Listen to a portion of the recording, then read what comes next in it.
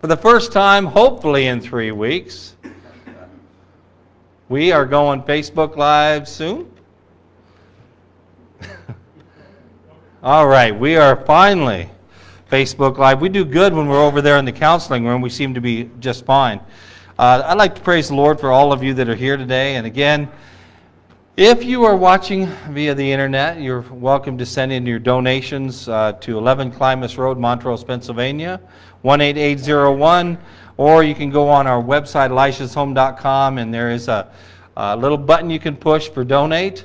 Uh, those of you that we normally have our tithes and offerings, we usually have the Ford kids go around doing the offerings, but because of the our distancing that we have to take, there's a little wooden container on your way out on the left today. Just drop your monies, you know, large bills, 100s and $1,000 bills, in that little wooden container out there. We would appreciate it. But uh, I, I, just, I am so excited about the, the service that uh, Samuel put together today. And I asked him, I said, So what, what is your theme? And when he told me, I said, Well, send me the song that you're going to do your, the video of. And that was uh, Jeremy Camp's uh, In the Moment. And that was so neat, seeing some of those pictures. See, a lot of you don't realize that, and maybe you have, you've heard us say it enough, that what an exciting time for me as a dad to have my three sons, now that's not, I know, name of an old show, having my three sons standing up here with myself and my wife, my, my three promises from God, my three answers from God. And uh, the name of the sermon today is In the Moment or Living in the Moment. And that was my moment. Okay? And, and I, I don't care if you don't like it. That was my moment as a dad to have all three of my sons up here with my wife and I. Because when we ended up, when the Lord, well, I, I told you this years ago that Peggy, when we were dating on the telephone, I know that sounds crazy, but I told her, well, you can have as many children as you want. She said, I want a dozen. I said, all right, I'll do my best, you know. You can't argue with a man who says he'll do his best. But unfortunately, after we had, um, who's laughing over there? Uh, when when we finally ended up getting pregnant with uh, Josh, the doctor told us after he was born, because she had such a rough time, that she would not be able to have any more children. And see, when you listen to the, the doctor's diagnosis, a lot of people get stuck in that. And so I got stuck in that for 15 years. Well, then I became more of a faith preacher. You know, as faith preachers, we believe it until it happens, and then people get angry with us because uh, sometimes it doesn't work out right. They'll say, well, see, your faith is weak. No, I'm going to, you know what? You want myself, you want Dave, you want Tim, you want us to pray for you because we're going to pray for you either until you're healed or until you go to be with the Lord. We're not going to give up on you. But you get these people say, oh, it's God's will that you die and suffer a terrible death. That's a lie from the pit of hell. And when I, when I finally discovered that, and I've shared this with you before, that the Lord had promised me and to promise my future wife at the time that we'd have plenty of children. So I spoke forth what the Word of God said. And I said, We will have more children, just like Sarah's womb will be open. And all of you know the story that after 16 years, Peggy got pregnant again. And we were so excited, and two and a half, three months in, she had a miscarriage. What a terrible thing to go through. But praise the Lord he is, his promises are yes and amen. And then, of course, the young, the skinny guy that was up here with us, that's Matthew, and he was the first promise. And he was the promise of the Lord where the Lord told Peggy specifically, you know, a television preacher, and she's, why you might not believe this, but I, I believe it as uh, she was walking into the room watching one of our favorite preachers. He was getting ready to pray, and he said, A woman just walked into the room, and she's seeing me on TV at this moment. And he stopped and he said, God has a promise for you that you are going to have more children. You're going to have a son, and you're going to, his nickname will be Matt, and he'll be, and his name will be Matthew. And within a month, she was pregnant. She went to, the doctor because all the hormones were wicky wacky, ladies. You know what I'm saying? Men, you really know what I'm saying. And uh, they, uh, they went to do an, uh, the ultrasound, they couldn't find anything. She said, Well, the doctor wants you to come back in a, uh, a certain amount of time. And we knew what the doctor said. The doctor said he wasn't even there. Said it was a hormone problem because of what they called a blighted ovum, all this fancy stuff. But we proclaimed that no, there is a baby in there and his name is Matthew. And the next time we went, all of a sudden the, the, the lady looks at the paperwork and then she, she says, Well, here he is. Here it is. I said, Is a boy or a girl? She goes, I can't tell you, but look. Okay, then, he's a boy. And we, and we told her the story he would be Matt. And praise the Lord, Matt was born. Everything went very, very well. Um, and then six or nine months into that, uh, after he was born, devil tried to take him out with a type of leukemia. Couldn't do it. God healed him up. He's doing great today. You saw him. Well, God promised me my Samuel also. Uh, because I wanted more children, and Peggy did too. And look what God did. And each of those moments that we lived in, we lived in faith. You can live in fear and doubt, or you can live in faith. It's time to live in the moment. So when I saw and I heard the song that Samuel shared, and I, I hope I get, I, I get my boys' names all mixed up. And they hate that, but that's life. Get over yourselves. You got you all three have great names Joshua, Matthew, and Samuel. You know what can I say? So all three are anointed names. I love you all three just so much. And what's interesting is when you're living in that moment, whether it's good, bad, or ugly, God will watch the, the forming of your character. God never sends tests that are evil, but God watches how we respond to that moment. And, you know, when I was a young kid, I didn't always respond so well. I had a bad temper. And you, you can meet, if you go back to Walla Walla, Washington, you might meet a couple of those people that met my temper, okay? Or when I was in the Navy, some of those sailors that met my temper. But I don't have that temper anymore. God is using the character that He was building in me as a young man to be the man of God that He wants me to be, and He's still working on me. I'm just saying, He's still working on me. And uh, that's all I'm going to say. Anyway. I found a really interesting story from a gentleman named Adam Albright. He's an author and a writer. And I like what he had to say about in the moment. He said, Life is full of obstacles.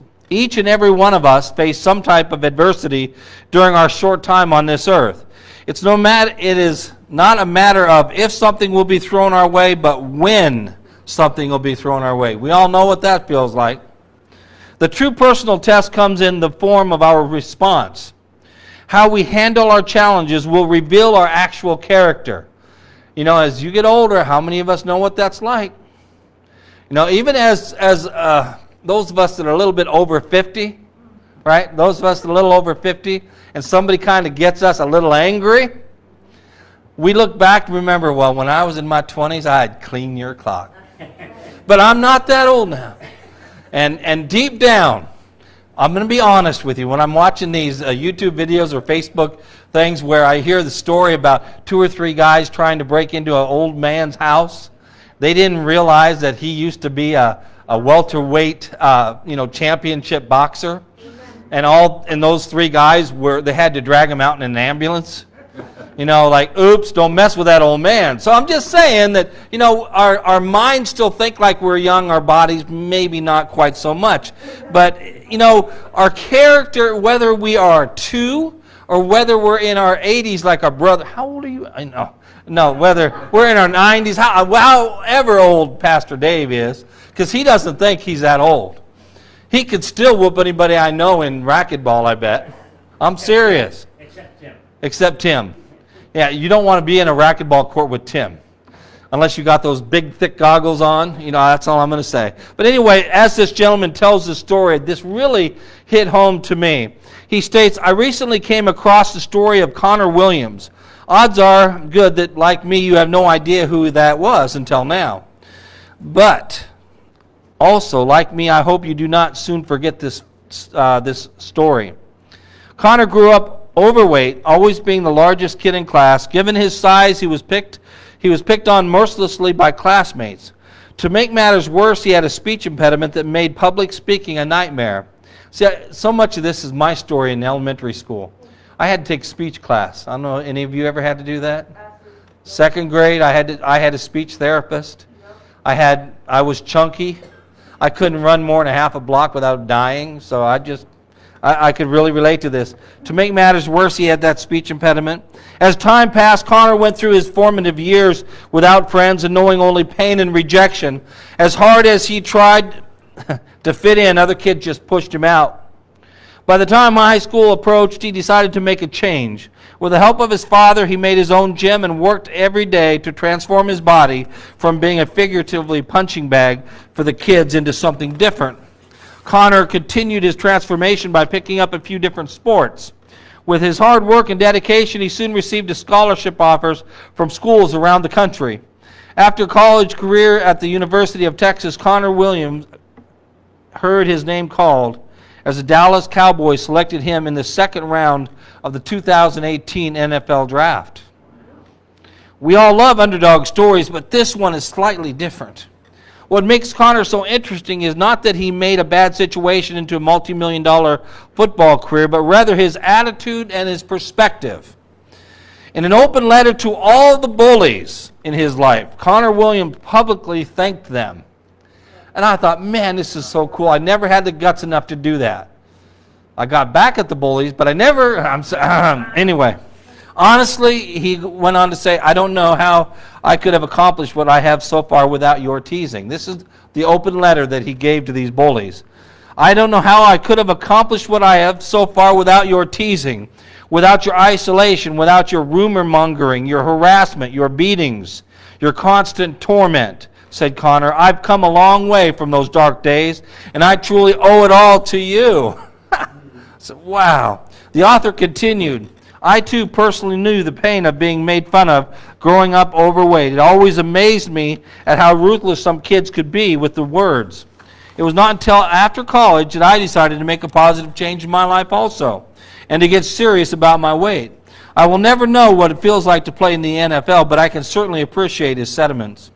Being bullied can leave a lasting impact on your life if you allow it. Like Connor, there is a part of me that is thankful that it happened. We have a choice to make when faced with difficulty. We can run from it, hide from it, or fight it. We can seek meaning in it, why, it hap- why it's happening, or we can outright dismiss it. The challenges we face do not define us. It is the decisions we make in light of those challenges that do. Isn't that challenging? I mean, I so can relate to that because that same thing happened to me in junior high. I got tired of being overweight and stuff, so I started working. I did all that. I got into boxing by high school and stuff. So, you know, I, you look at this wonderful body of a man now, and you're going, how could you have been a third of your weight you are now? That's, that's just, those are the young years. But, you know, uh, I really I learned that as I grew that the important thing wasn't how what a great shape your body was in, but the great shape your soul was in. But it took a while to figure that out. Human beings are perfectly imperfect. Uh oh. Yes, we are. We are all guilty of sin in some form or fashion. We are all capable of being both bully and the person being bullied. Some of you might have been that bully. I hope not.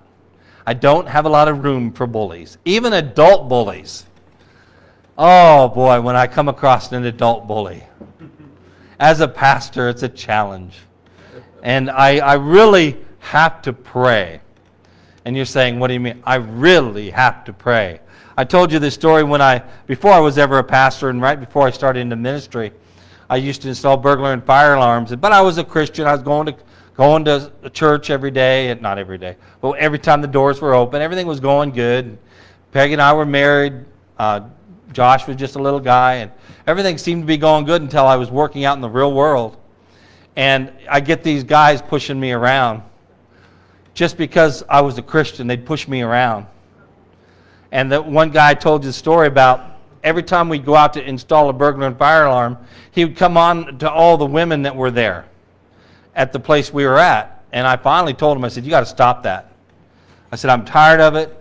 It's not, it doesn't make our business look good, and it makes me look bad. And this guy, he threw me up against a car, and he grabbed me by the shirt collar. And now another guy's watching me.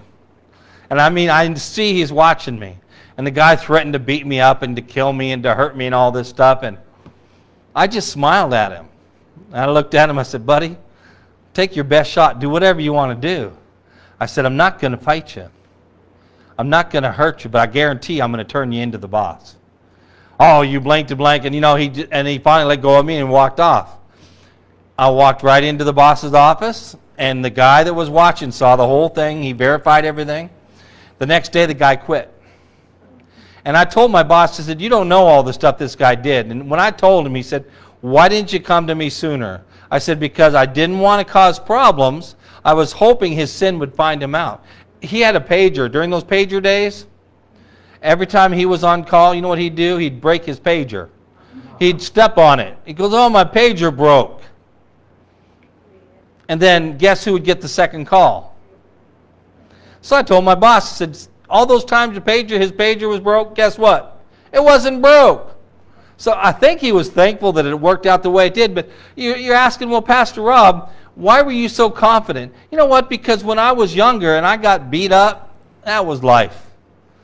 And I, you know what though? That wasn't the problem. I had no fear because I knew I was doing what was right. When you know you're doing what is right, the fear of getting hurt is a lot less than the fear of God. How many times have I told you this?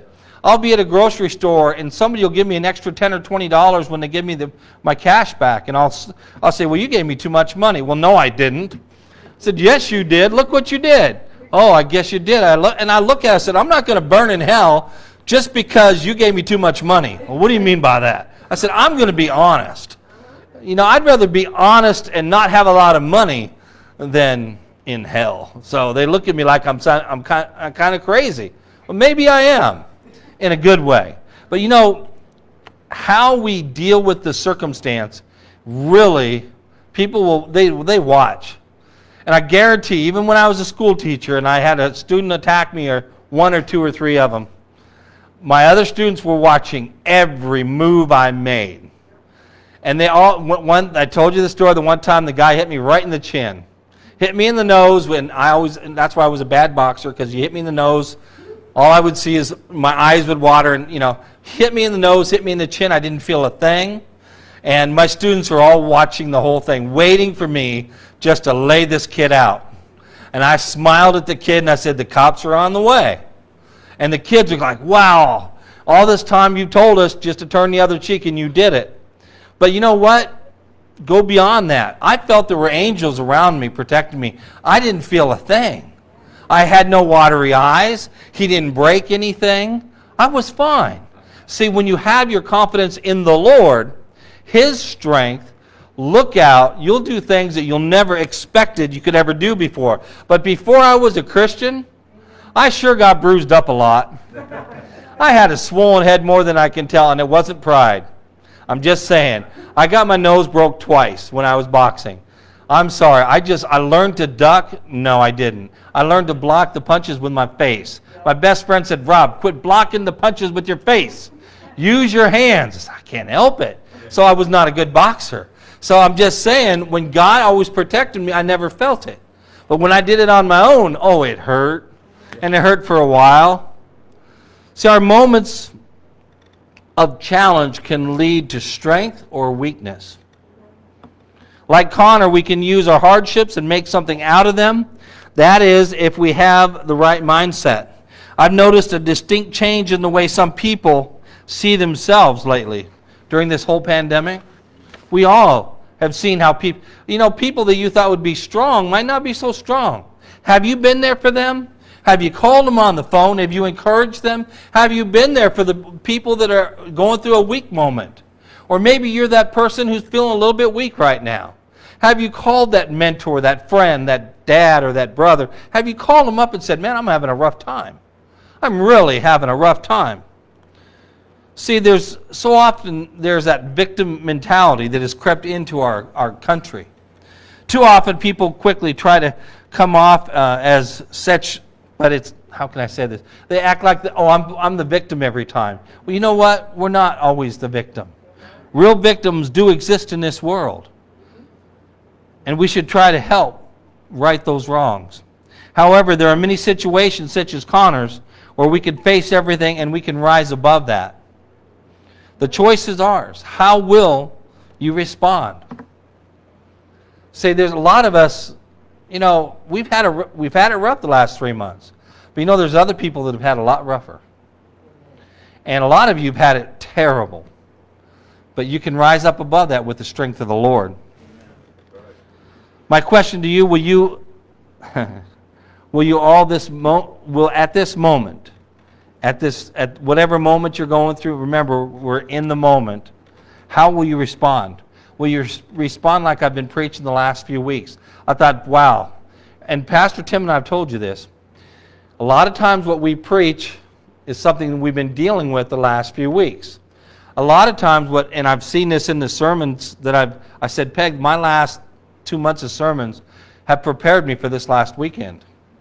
This last weekend stunk. It just did. I'm just being honest. But because of his strength, he makes me strong. I don't make myself strong. He does it. I can't do it on my own. I mean, I can put on a good show. But honestly, only he can make you strong. Only his spirit in you can make you strong. Like I said uh, last couple of sermons, how King David had no real father. His real father thought he wasn't even his father. And then King Saul treated him like trash. For 14 years, chased him in the wilderness. How would you like that? But look what happened to David. David turned out to be the apple of God's eyes because he found the father that would be the right father in heaven. So many of us did not have good fathers. But you know what? That's no excuse anymore. We have him. He's our example. Christ was our example. David's secret, and it's funny, as I was looking these scriptures up, I'm going, wow, these are the scriptures I keep using over and over again. Uh, Psalm 17, 9, uh, 17, 1 through 9. And I love how David put this. And I've read this, I think, the last three sermons that I've done. But hear it again. Hear me, Lord. My plea is just. Listen to my cry. Hear my prayer. It does not rise from deceitful lips. Let my vindication come from you. May your eyes see what is right. Though you probe my heart, though you examine me at night and test me, you will find that I have planned no evil. My mouth has not transgressed. That's Psalm uh, 17. I'm going into verse 4. Though people tried to bribe me, I have kept myself from the ways of the violent through what your lips have commanded. My steps, verse 5, held to your path. My feet have not stumbled. You see that? My steps have held to his path, not mine. I call on you, my God, for you will answer me. Turn your ear to me and hear my prayer. Show me the wonders of your great love, you who save, save by your right hand those who take refuge in you from their foes. Verse 8 Keep me, and I love this part, and keep me as the apple of your eye. Hide me in the shadow of your wings from the wicked who are out to destroy me. You know, I, I shared with you last week or a couple sermons ago the apple of the eye that came from the original Hebrew belief that as you look into a person's eyes, into their pupil, you will see a reflection of yourself. So keep me, God, as the apple of your eye. As I look into your eyes, Lord, I see a reflection of myself. And you, that means that if you only way you ever could see that reflection is that person has to look directly at you. If they look at an angle, you can't see that reflection. But if they look directly at you, you can see the reflection. So David is saying, Father, you are looking directly at me. I know I am the apple of your eye. And God even said that, that he was. Because God's focus is on you. Whether you know it or not, he loves you. It says that he, he and I love this part, he even knows how many hairs you have. He's numbered every one of these that slowly keep disappearing. They're getting a little fluffier here, but they're disappearing here. Yours is not. Allison, no, I don't want to see you going bald. Oh, women. Don't even go there. Just don't. oh, Allison, you're still young. Oh, Lord, help this poor woman in the front row. People are watching you.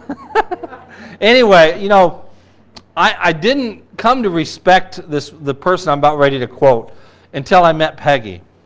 And she used to tell me, you know, when I was in college, people used to call me, I said, what they call you? They called me Mother Teresa. Now, those of you that know and love Peg, you can totally understand why they would do that. Some of you even call her mom, and she's younger than you. I, and I totally understand. But she even told me if she wouldn't have married me, she probably would have just become a nun. Now, thank God she didn't, because my boys wouldn't be here, you know? But Mother Teresa, and, and one time I was watching her back in the Clinton years, and I loved it. I, I love it when I see a godly person face somebody. What do I mean by embarrassed that they, that they can't say nothing?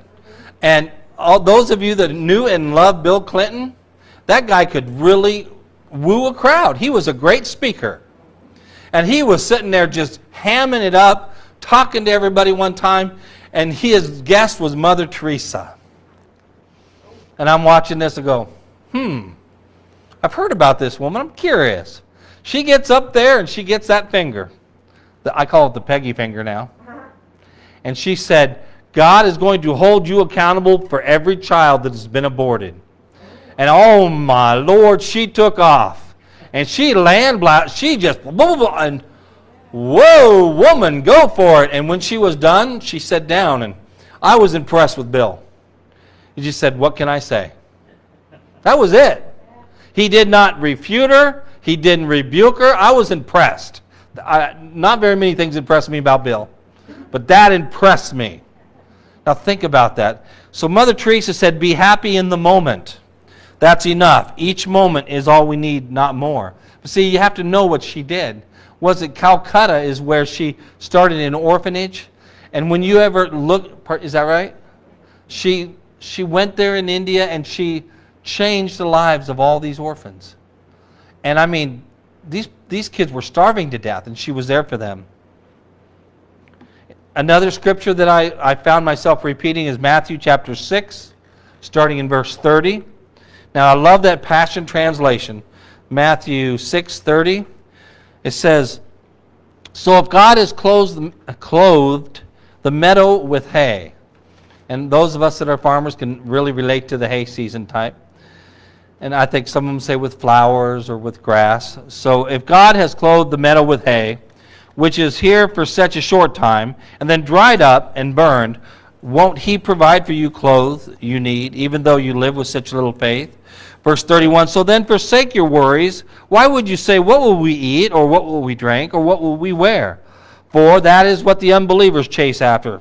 Doesn't your heavenly Father already know the things your body require? Verse 33 So above all, constantly chase after the realm of God's kingdom and the righteousness that proceeds from him. Then all these less important things will be given to you abundantly. Verse 34 Refuse to worry about tomorrow, but deal with each challenge that comes your way, one day at a time. Tomorrow will take care of itself. Tomorrow will take care of itself. Now you think about that. And you know, our graduates that we, we, we prayed for, again, I think there were Summer and a couple of the other young people weren't here today, but I think we had like six graduates. But the first thing, as, as um, Matthew and Josh prayed over Sam, and then prayed over Skylar, first thing that jumped in my heart was, you know, you are at the perfect age to be chasing, to be God chasers. Like I said, there's a book called God Chasers from Tommy Tenney, great book. You are at the age that you can change this world Amen. for the Lord. I mean, I didn't get saved until I was 19. You all can change the world if you don't go to the ways of this world. Abraham Lincoln said, I don't know who my grandfather was. Did you know that? But I am much more concerned to, and to know what his grandson will be. Now, did you get that? Allison, did you get that? I mean, I mean, uh, and you're in the front row. He's saying, I did not know my grandfather, but I am much more concerned to know what his grandson will be or turn out to be. That's him. He was more concerned about that. And then I was reminded of Queen Esther. In Esther, uh, the, in the Old Testament, in Ephesians, uh, Ephesians, Esther 4, starting in verse 13 and 14, you have to know the story. That during that time, uh, the Jews were in, uh, they were enslaved, and they, the king had, had all these wives and concubines, and he found favor in a, a Jewish woman named Esther. And uh, of course, there was the enemy of the Jews, and this one guy that was a was the right hand man of the of the king. he decided he was going to get the king to, to make an uh, edict. I hope I said that right. Or a, a proclamation about anybody who does not worship, you know, the king and worship any other god, that basically they should be killed. And when Queen Esther's uncle, Mordecai, no, did I get that right? Yes, Mordecai heard about it. He tore his clothes and he was depressed because the whole nation could be wiped out. And this is what happened when she found out that he was bummed out and upset about it. She sent, she sent uh, I think it, they said his, her head eunuch to him to find out why he was upset. In Esther 4:13 it says, "Then Mordecai told them to reply to Esther, do not imagine that you in the king's palace can escape any more than all the other Jews. For if you remain silent at this time, relief and deliverance will arise from the Jews, from another place, and you and your father's house will perish. I mean, he's being pretty rough with her because she's sitting there going, Well, what can I do? Because, see, if you went before the king and he didn't call you, most people were killed instantly. They had people waiting to stab you, and even a queen. And went on to say, and, and this is my favorite part. So he said, From the Jews from another place, and you and your father's house will perish. And who knows whether you have not attained royalty for such a time as this? That God had put her in that place to save the Jewish people. If you read the rest of the story, you'll find out. And one of my favorite preachers, uh, Dr. Tony Evans, who recently lost his wife to cancer, wrote this really powerful message uh, concerning for such a time as this. he said, it, for such a time as this is a phrase that's tossed around very frequently, often without much thought to the original meaning or context in which it was said. It can mean, it can mean special, chosen, or royal. Many people even quoted Mordecai's rebuke to Esther as a life verse representing power and favor. You'll see t shirts, hats, and mugs, and social media posts that proudly ring out for such a time as this. But what did the phrase really mean? When we look at the life of Esther throughout the book titled in her name, this phrase actually refers to Esther being scolded for her self indulgence, her self uh, preserving mindset. In today's language, we might call that being shot down for having a narcissist tendencies. Wow, he's a pretty powerful guy. Mordecai he reproved Esther for living large and embracing royalty over righteousness, selfies over service. Through, the, through those telling words, he reminded her she had been chosen to set her own interests aside, let go of her own ambitions, and face an enemy full on. She was to risk her life and her legacy with no guarantees of a positive outcome. That's the, for such a time as this that Mordecai challenged Esther to accept. See, for such a time as this, Samuel and Skylar, are you willing to realize that God has you on this earth for a specific reason to do something to glorify God? Have you thought about that? And it might not be going to the mission field today or tomorrow or the next year or the next year, but is preparing to share with people Christ. It might be at your workplace, it might be at college, or any of us. Are you willing for such a time as this to glorify the Lord? Something to think about, isn't it? Mordecai told them to reply to Esther, Do not imagine that you're in the king's palace. And I just thought, Isn't that powerful? Do not imagine that you're in there just for the fun of it. For if you remain silent at this time, relief and deliverance will arise. Wow. So, and for such a time as this, God also set before you and me. God has given each of us a job, a position, resources, education, and more. God has opened an opportunities to optimize his kingdom's purposes through you. He didn't place, and I love this, he didn't place you or me where we are so we can eat figs all day long, eat figs all day long, or post pictures on social media. He's placed us wherever we are because we are in the midst of a battle, a war. You and I are in the midst of a seismic conflict involving good versus evil. Do you realize that? Have you seen it on social media? To miss a, I hope so. To miss a kingdom assignment because we become too caught up in our own personal kingdom is one of the greatest tragedies we could ever face. An entire nation was grateful for how Esther responded to his rebuke. Their lives were spared. How many souls can be spared in this in the culture where we live today when we choose to step up to service, even if it involves sacrifice? Are we willing to do that?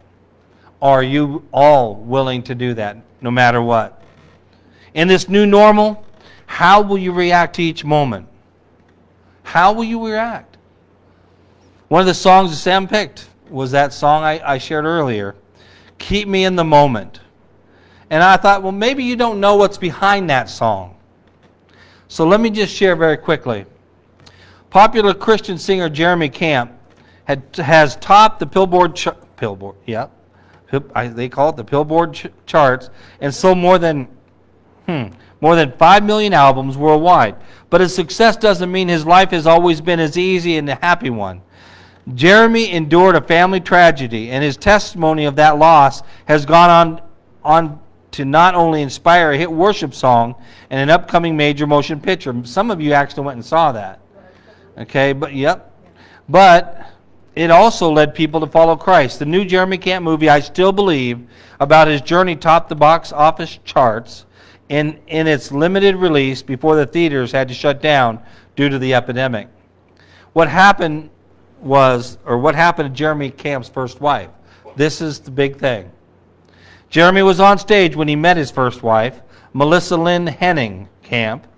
I was singing and I looked up and there was Melissa with her hands raised up so high. You could tell she was really worshiping Jesus, shared Jeremy. So he fell in love with this girl that was worshiping the Lord with uh, in, in every possible way. They married in 2000, but Jeremy lost his first wife to ovarian cancer after they'd been married for less than four months. He was 23 and she was only 21. But Melissa left a legacy that continues to inspire and bring others to Christ.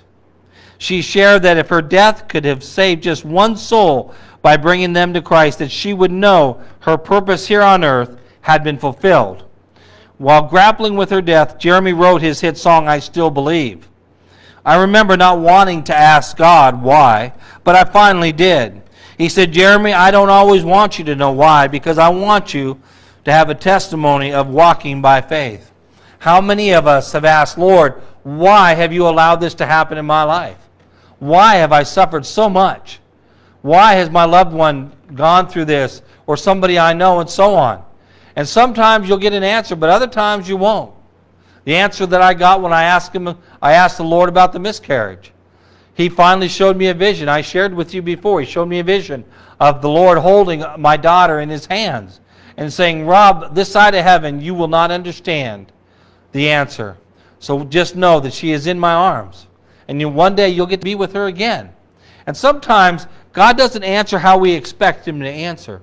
But look how many people have touched have been touched because of his testimony. So let me share with you the, the words to this song. It says, I've been thinking about time, and where does it go? How can I stop my life from passing me by? I don't know. Hmm. I've been thinking about family and how it's going, to, going so fast. Will I wake up one morning just wishing that I could go back?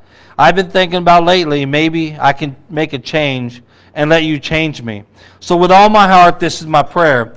Singing, Oh Lord, keep me in the moment. Help me live with my eyes wide open, because I don't want to miss what you have for me. Oh Lord, show me what matters. Throw away what I'm chasing after, because I don't want to miss what you have for me. Keep me in the moment. Oh, keep me in that moment, because I don't want to miss what you have for me.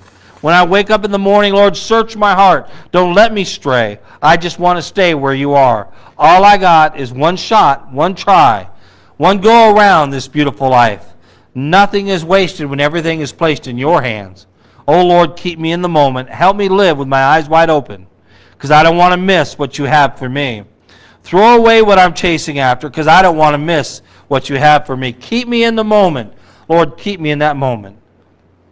I've been thinking about heaven and the promise you hold. So it's all eyes on you until the day you call me home. Singing, Oh Lord, keep me in the moment. Help me live with my, with my eyes wide open because I don't want to miss what you have for me. Over and over again, he says that. But it's so true. Don't miss what God has for you. Live in the moment for Christ, not for yourself. Don't be self centered. Be Christ centered. Finally, in Matthew 6:33 it says, "But seek first the kingdom of God and his righteousness, and all these things will be added to you." One of my favorite verses in Ecclesiastes, and again it used to be a favorite song when I wasn't a Christian. It says there's a time and a place for everything under the season. Remember? Well, Ecclesiastes 3:1. You, you all remember that? Yeah. The Byrds. yep.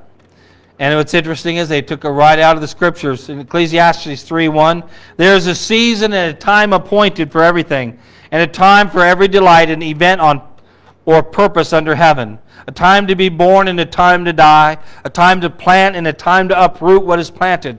A time to kill and a time to heal. A time to tear down and a time to build up. A time to weep and a time to laugh. A time to mourn and a time to dance. A time to throw away stones and a time to gather stones. A time to embrace and a time to refrain from embracing. A time to search and a time to give up the lost. A time to keep and a time to throw away a time to tear apart and a time to sew together, a time to keep silent and a time to speak, a time to love and a time to hate, a time for war and a time for peace. Are you, though, willing to live in this moment for Christ? See, we don't know what tomorrow will bring. I'd like you all to stand, please. I don't do this very often, but I, I want, I, if you feel led to repeat after me, I, I believe this is such a great uh, declaration, if you want to call it, but something that should be in your heart. So just repeat after me Lord, turn my heart, and my mind toward you, and toward the role you have chosen for me to live out. Help me to put your will and your purpose ahead of my own. I humbly bow before you and ask for your direction and guidance, as well as your courage to live out the calling I've been given for such a time as this. Let's pray. Father, I ask that you bless and anoint those words that people gave, those words that they repeated, that they would truly seek what they are supposed to do for you for such a time as this. Bless everyone as they go their separate ways, Lord. I believe that this is going to be an exciting week for you. In Jesus' name, amen. Have a great week in the Lord, everybody.